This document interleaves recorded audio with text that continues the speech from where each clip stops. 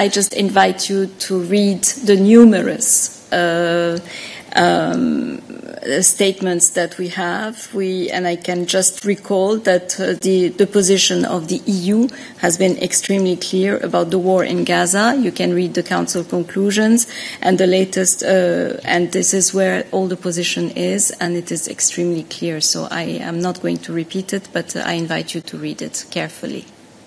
And I think the EU has expressed in all possible occasions its uh, intention to pursue a ceasefire, to protect civilians in Gaza, calling for a release of the hostages, of course, and providing to Palestinians all humanitarian aid possible since uh, October 7th to today.